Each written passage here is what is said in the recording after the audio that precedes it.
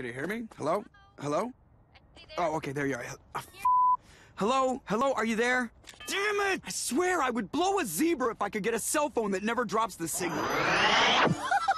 I have heard your wish. I am a wish-granting zebra. Seriously? I, I can't believe it. So you can make my cell phone work anywhere. I don't know. Can I? Oh, come on. It wasn't that bad. Think of all the calls you can make now.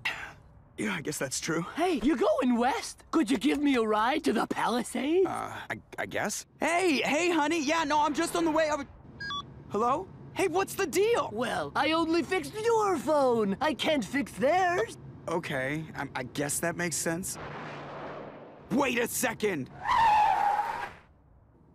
What's up, pal? I was talking to my wife. Okay. She was on the phone in our house. That's a landline. Is that right? Well, this is my stop. What the hell?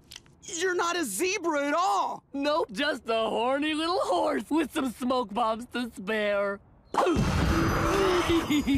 For regular wireless, so you don't have to blow a magical zebra.